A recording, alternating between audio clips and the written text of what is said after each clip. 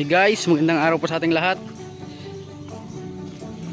Ah, ngayon po is magpapakain po tayo ng nalaga naming fingerlings. Yan, ito po sila.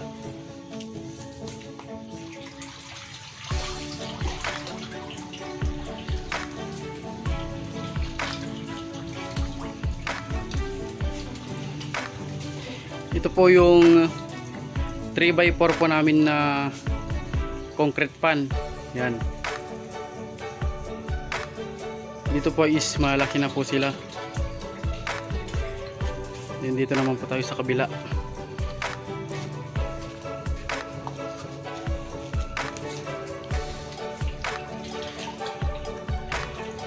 At yun nga pala guys, yung mga nagko-comment po kung nagbebenta po kami ng fingerlings. Opo, nagbebenta po kami.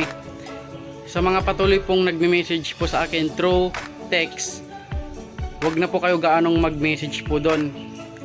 Dito na lang po kayo sa mismong Facebook ko po kasi dito po ko active. Yan, active po ako sa Facebook. Doon po sa sa number ko po, sa tinitext nyo po, hindi po ako gaano active po doon. Hindi ko po gaano nagagamit yung SIM na yon kaya sa Facebook na lang po kayo mag-message. Yan po.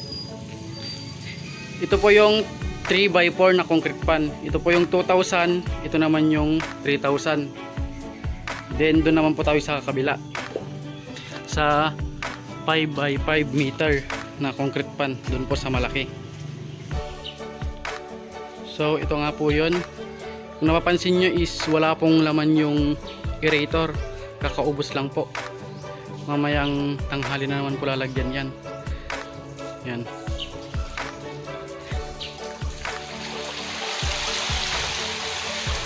Ayan po sila. Ito po yung update po ng inaalaga naming fingerlings.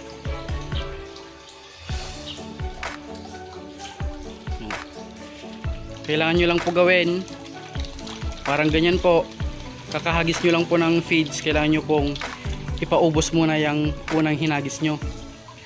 Bago po kayo maghagis ulit para po maiwasan po yung ano overfeed. Dito naman tayo sa kabila. Ito na po yung ano 8 inches pataas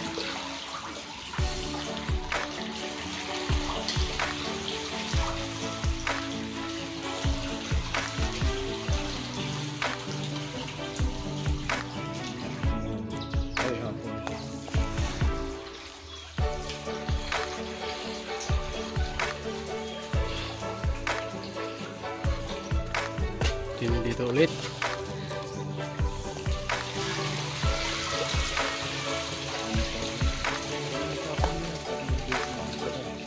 Yan.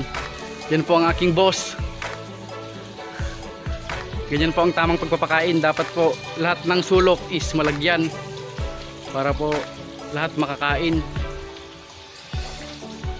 At kailangan din po tansyahin nyo lang po yung nilalagay nyo para po hindi po ma-overfeed yung mga alaga nyo. Kasi po yung feeds na yan is aalsa pa po yan pag nakain na po nila. Yan.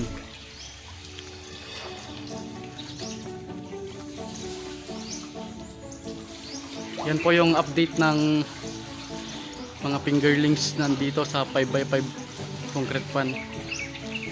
Napapansin nyo po sobrang active po nila